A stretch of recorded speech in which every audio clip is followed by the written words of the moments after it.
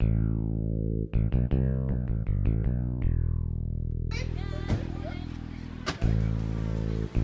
him off, Dad. I will.